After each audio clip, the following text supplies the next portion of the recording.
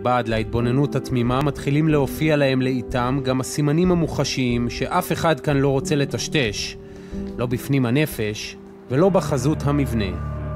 זה קורה בדקות האחרונות בירושלים, ירי בתוך ישיבת מרכז הרב. משה נוסבאום, אתה נכנס אלינו עם פרטים ראשונים.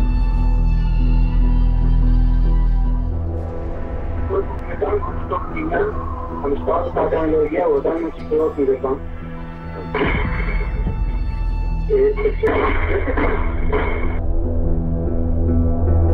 עליתי על הגג ושכבתי שם. שכבתי ודרכתי את הנשק וחיכיתי למחבל. באותו זמן קולות הירי נמשכים. קולות הירי, נמשכים מבפנים. הגג הזה למעשה אני נמרח עליו, אני נשכב עליו, פתאום אני רואה את המחבל הולך בהילוך איטי, בשלווה, הולך לאט עם הקלט צמוד לחזה, והוא אה, מצליל ככה, מנסה לראות מה קורה, כי הוא היה באור, לראות מה קורה בחוץ. בשלב הזה אני מחליט לראות, אני רואה שני כדורים. זה היה פגיעה, אני רואה אותו נזרק לאחור, נאנק, הוא לא נופל, רק אחרי שבעה כדורים הוא נופל.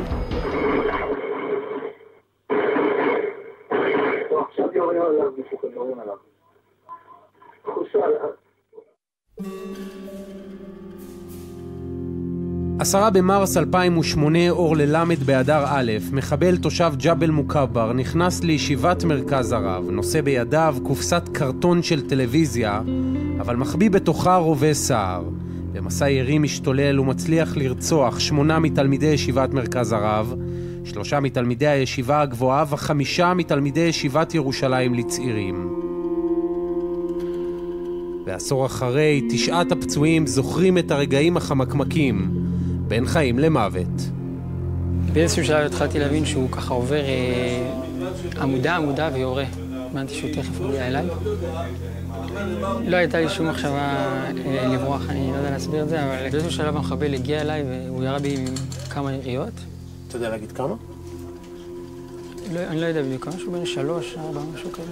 ראיתי שני אנשים בורחים לכיוון המסדרון, אז אמרתי אני ארוץ איתם, אם הוא מרסס על כיוון הספרייה, עדיף לי לרוץ לשם, לכיוון סף המסדרון הזה. מכאן ראיתי את המחבל ליד עמודות הספרים שם, בכיוון, ופחדתי שהוא יוכל לראות לי את העיניים, שיהיה קשר עין איתו, ויוכל מיד לראות, זה חשוף לגמרי. אז ניסיתי קצת את הראש להסתיר ככה, שלפחות את העיניים הוא לא יראה, למרות שאת הגוף עדיין רואים. ניסיתי לחזור בתשובה, להגיד לשם, אני מצטער על החטאים שלי, וכשהמחבל יגיע, תכננתי פשוט לשבת כאן, להתכווץ ולתת לו לראות עליי.